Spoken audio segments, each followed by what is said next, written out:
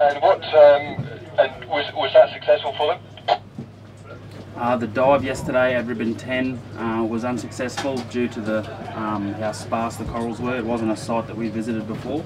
Okay guys, when you're ready, sign it off.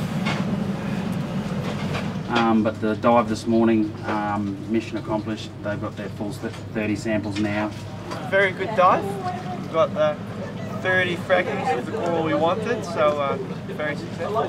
So you found that uh, particular... Yeah, so we found Seriatopora hystrix, which is what we're looking for. This is a species that occurs right from the back reef through the shallow and down the reef slope into the deeper areas. So why we're collecting in these different um, areas is to try and understand whether these um, different populations are connected or not. So we've brought them back up here and now we're taking samples from them for genetic analysis as well as um, fragments to look at their reproductive status.